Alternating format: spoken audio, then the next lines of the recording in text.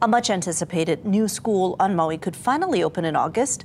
Kulani Hako'i High School in Kihei is already built, but it's been sitting empty amid controversy and political debate. Governor Josh Green today announced the school will be allowed to open after construction is completed and the Department of Education sets an opening date. The state and Maui County entered into a memorandum of agreement. The Land Use Commission will issue a temporary certificate of occupancy to the DOE in exchange for the state temporarily indemnifying the county. School buses will safely transport the students to campus on an interim basis.